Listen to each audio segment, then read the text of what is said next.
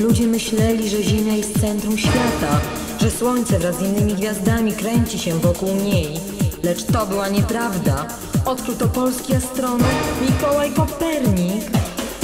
To jest opowieść o Mikołaju Koperniku, pierwszym człowieku, który wstrzymał Słońce i ruszył Ziemię. To był Polak.